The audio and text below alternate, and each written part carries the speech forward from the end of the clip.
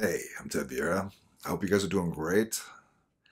You know, in the last episode, I did mention that I would share with you guys um, some of the experiences I had shooting with different kinds of film over the past year, right? Because, yeah, man, I was in pursuit of a film that would wow me as much as Acros does, right? Yeah, it's a challenge, man. Um, but yeah, you know, it didn't have to look similar. It could be the complete opposite. But if it made me just stop and just go, wow, you know, look at that film quality. That's what I was looking for. That's what I was looking for. Now, I did mention that um, uh, as my go to film, I've kind of selected Tri-X, right? Yeah. And that is a complete departure, right? Uh, yeah, tonally completely different. Much uh, kind of a harder contrast. Uh, it's a 400 speed film, classic grain structure. Yeah, it's got that 1960s, 70s kind of documentary photojournalism look, right?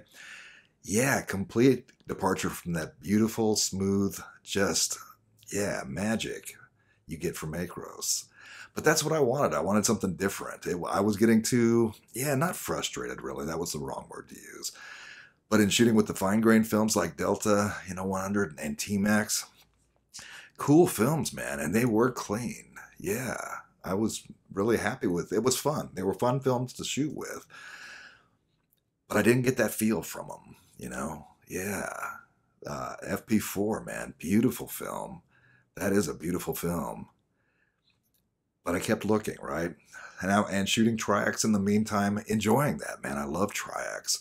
I push it to 1600 all the time because, yeah, if I'm in low light, the 1600 gives me a lot to work with.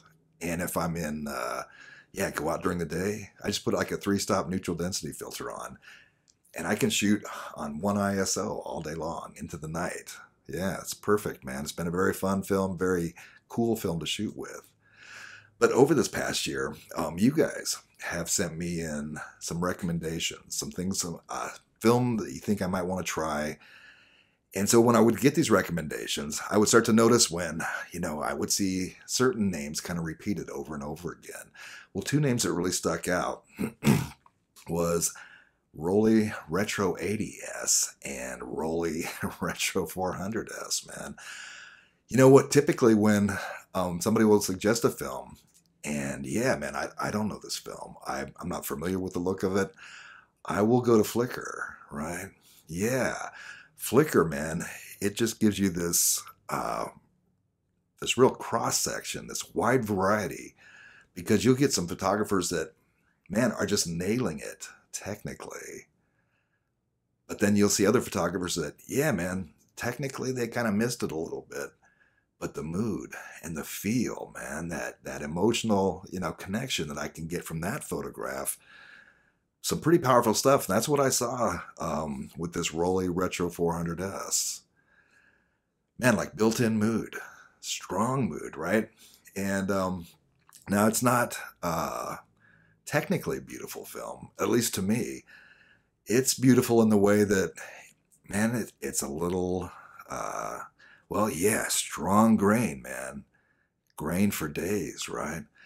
But it's a real tight grain structure. So it almost kind of gives this kind of smooth, really grainy, really smooth kind of look. The shadows fall away, man.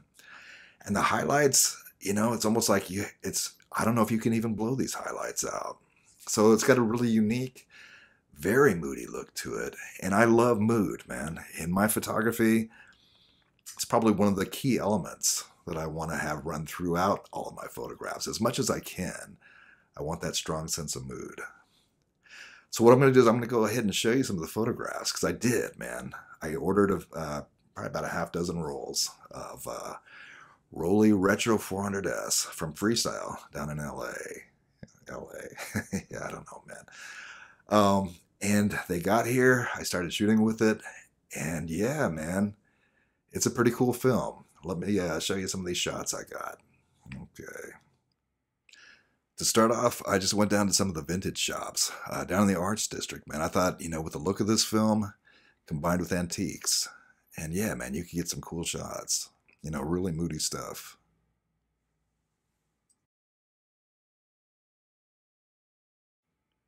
Now, I did stay out all day, and towards the evening, I moved down to uh, Fremont Street to photograph the performers there. Kind of a Halloween based show, so you can kind of get an idea of when I first started shooting this film. But man, look at that fog, you know, look at that smoke. Yeah, grain for days, right? But the grain structure with this film is so tight, man, that yeah, you get this kind of smooth look to it. So you got grain and a smooth look. Cool stuff. I went back out the very next day. You know, I wanted to see how this film would perform in broad daylight, right? Like harsh midday sun. But man, look at those highlights.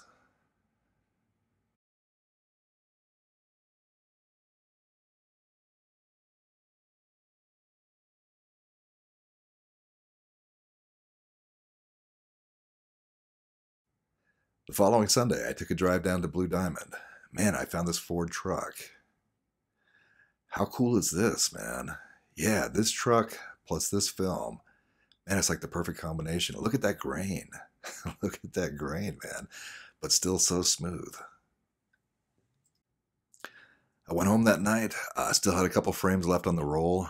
You know, typically this is the kind of stuff I will shoot to finish the roll so I can develop it. I do love the way this film looks. Yeah, what do you guys think? What'd you think of those shots, the image quality? Man, it does have that kind of retro, kind of old film look, right? Yeah, grain for days, man. but the grain structure, it is so tight, right? It makes it so smooth. So you got a lot of grain, but it's so smooth. Yeah, this film does have a uniquely beautiful look to it. You know, is it yeah, is it the kind of film that I want to have? Is it what I want for my signature look in my photography? And do I even need that? I don't know. But I am looking for it. You know, the jury is still out. I love the moodiness that this film provides. Yeah, it it's got a gorgeous look. Um, now, all those shots that you saw, that was all shot at box speed at 400, right? 400 ISO. And, you know, even the night stuff down on Fremont. Now, that's not a big issue because you can get plenty of light down on Fremont Street. If you guys ever come to Vegas, man, go down to Fremont Street and do some night photography. You'll get some cool stuff and it's a lot more interesting to me than going down to the strip. But hey, each to their own. But check it out, man. I think you'll like it. So 400, you know, that's still kind of a comfort zone for me. Even though I talk about how, yeah, man, I do appreciate how Tri-X gives me that flexibility. You know, shoot day and night at 1600 ISO. Don't worry about changing the uh, film. You can just keep the same film in there and keep shooting, right? That is cool, man. But, you know, I used to push Acros all the time to 400. It's a 100 speed film, and I would push it to 400 all the time. Uh, so that is a comfort zone to me. And even at night, man, I shot a lot with that film at night at 400. So I can, yeah, I do appreciate the flexibility that going up those extra couple steps, it does provide me for shutter speed or aperture. But it's not that big a deal. So yeah, 400 is still kind of a comfort zone for me. But I'm still not sure yet if this would be the main film. The jury is still out. Another thing about this film is, man, it's not inexpensive. it's not a cheap film in any regard. I think when I was buying the commercial rolled uh, cassettes of this, it like you know your regular 35 millimeter uh, film you buy from the store, I was paying between eight and nine dollars a roll. Yeah, man, that makes that makes Acros look cheap, right? Yeah, and it's not. Um, so this this price, it actually motivated me to get into bulk rolling film, right? And I should do that anyway because I shoot so much film that I should just go ahead and bulk roll my own film. Because I looked at if uh, a hundred foot roll of Rollei Retro 400S should give you approximately 80 rolls of film, right, at 36 exposures. And um, I did the math, and shooting 80 rolls of that compared to 80 rolls of commercially rolled film, and I would save about $40. That's, you know, to me, that's significant enough to go ahead and like say, yeah, man, I'm a bulk roller now. So I got all the bulk rolling gear and, and, uh, yeah, I did, did get into bulk rolling. It's cool stuff. It's an easy way to go. If you're not doing it, you know, think about it because you could save a lot of money depending on what film you shoot. Um, I am still thinking about the 1600 thing, and I'll just let you know that, yeah, man, I did end up pushing it to 1600 to see if I could get that flexibility. The weird thing about that is that there's like no data online for developing times, that kind of stuff. So I had to come up with my own times. But I did want to, I love the film that much that I did want to see if I could get that flexibility out of it. And I'll just tell you right now that, man, it does look pretty good. At 1600, this film does look pretty good. I'll uh, share more about that in the next video with you guys. I'll, I'll share my developing times with you, the kind of developer I use, and I'll share you some photographs, I'll share with you some photographs so you can see what you think of Rollei Retro 400S pushed to 1600. Fun stuff, man, right? Yeah, it is fun stuff. Okay, hey, I'm going to go ahead and wrap this up. Um, let me know if you have any questions. I'll go ahead and answer anything I can in the comments. I'm Ted Vieira, and we'll talk to you in the next episode. Thanks.